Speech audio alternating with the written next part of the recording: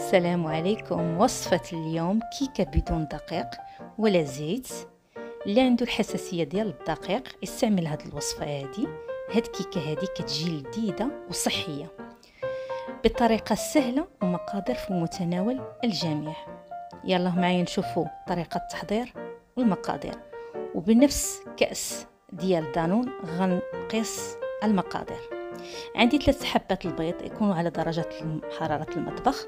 ضفت عليهم جوج كيسان ديال السكر حبيبات اللي عبرتهم بنفس الكأس ديال دانون كأس ديال دانون اللي ضفتو. وغنحرك جيدا. ثم غنضيف كأس ونصف بنفس العبار. مايزينا. أي نشا. وغنحرك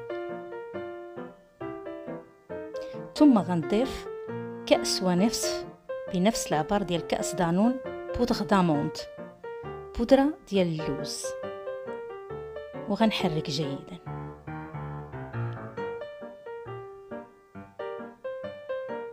ثم غنضيف ملعقة صغيرة ديال خميرة الحلوى.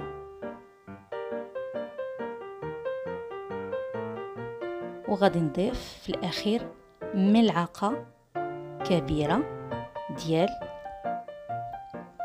ماء الزهر وغنخلط جيدا وغنفرغها في إناء.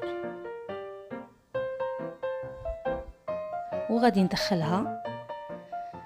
الفرن يكون ساخن من قبل على درجة 30 تلك 35 دقيقة على 180 درجة الحرارة من بعد ملي وجدت ليا.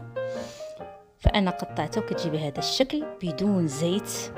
حيت البودر ديال اللوز كيطلق الزيت كتجي لذيذة وبنينة. ويا سلام ما تشبعوش منها.